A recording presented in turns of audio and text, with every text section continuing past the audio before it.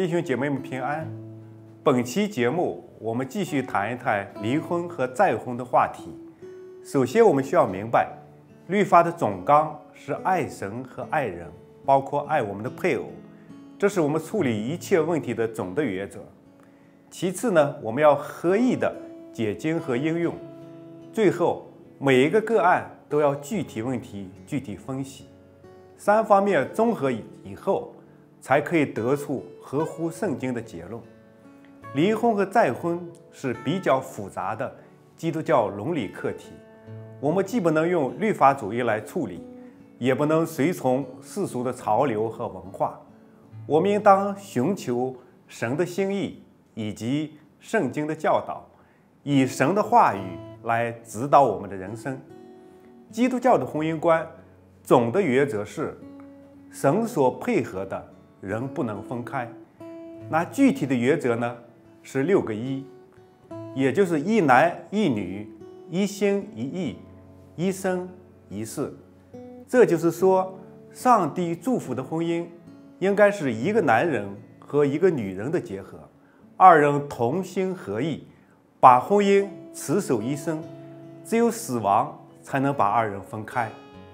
虽然神的吩咐是如此的明确，但是。总有人因着软弱和犯罪离开神的道路，正如圣经许可离婚的两个必要条件，也就是婚姻中的一方犯淫乱的罪，或者不幸的一方主动的提出离婚。对于再婚的这个议题呢，通常情况下，根据圣经的教导，也有四种的情况以下的许可：第一，配偶去世。活着的一方可以再婚。第二，如果配偶犯了奸淫，不愿意悔改，无辜的一方可以再婚。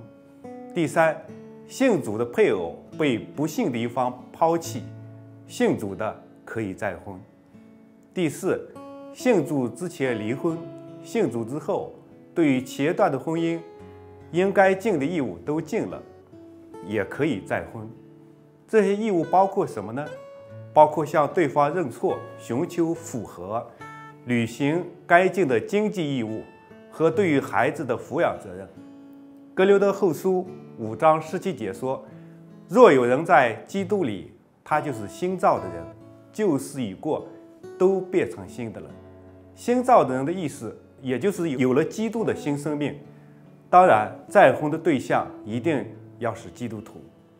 在格林多前书七章。十到十一节说：“至于那已经嫁娶的，我吩咐他们，其实不是我吩咐，乃是主吩咐说，妻子不可离开丈夫，若是离开了，不可再嫁，仍是同丈夫和好，丈夫也不可离弃妻子。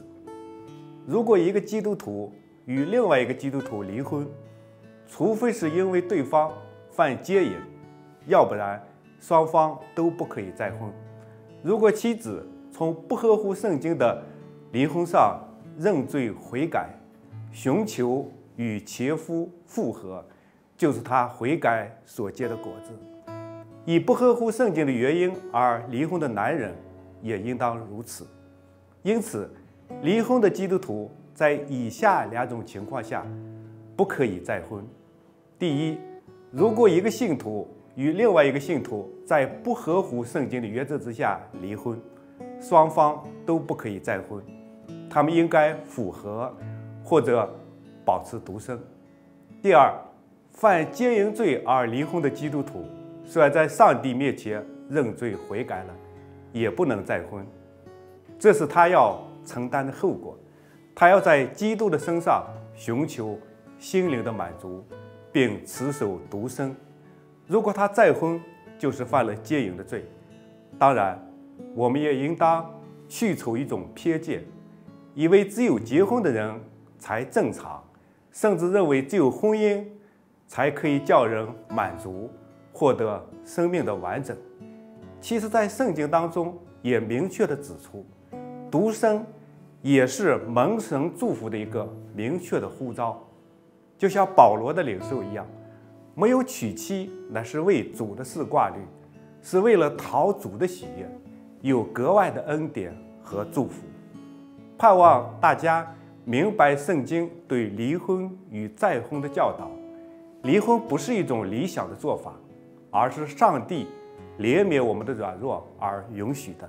上帝恨恶离婚，虽然是因为罪而导致离婚，但是按照圣经原则下的离婚与再婚，并不是犯罪。牧者三分钟，祝大家都尊重婚姻，爱神爱人，愿上帝赐福给您，阿门。耶稣说：“我来了，是要叫羊得生命，并且得得更丰盛。”是的，您想活出一个丰盛的生命吗？请留意上帝的话语吧。您可透过收看环堂媒体部门为您制作的视频，我们会陪伴您一起了解基督信仰的内涵，活出一个有爱、有光、有意义的人生。是的，我们的灵修分享会同您一起思想上帝的话语，让神的话语成为我们生活的引导。